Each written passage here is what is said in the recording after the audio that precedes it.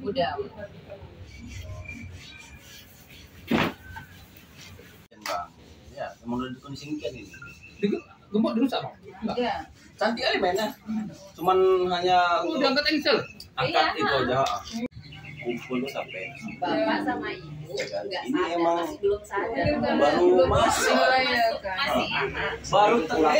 itu jam 2 lewat 11 ya lewat 11 itu kan alarm bunyi jadi kan ibu gini kok alarm bunyi aja pada orang.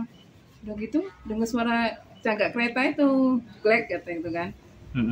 Ibu terbangun buka pintu orangnya udah bawa kereta ke sampai pintu ibu gini. Kan pikir ibu menantu ibu. Namanya kan Faisal jadi ibu bilang gini Sal kamu ke mana Sal? Aku nggak dijawab ibu nggak tahu kalau kereta dua ini udah hilang. Jam berapa itu, Bu? Ya dua jam duaan gitu lah itu Malam, Bu ya. dua lewat gitulah Berapa Malam kereta ya? yang hilang bu? tiga Pelakunya kira-kira ada berapa orang? enam Ada enam orang Hmm. pelakunya. Jadi udah bikin laporan belum, Bu? Udah di mana, Bu? di polsek ya di polsek. Bu, ini kan yang hilang banyak nih, Bu. Hmm. Harapan Ibu seperti apa, Bu?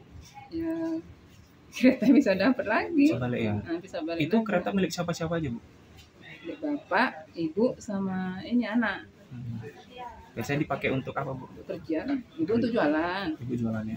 ibu kan jualan ini sama masak hari-hari kan Hmm.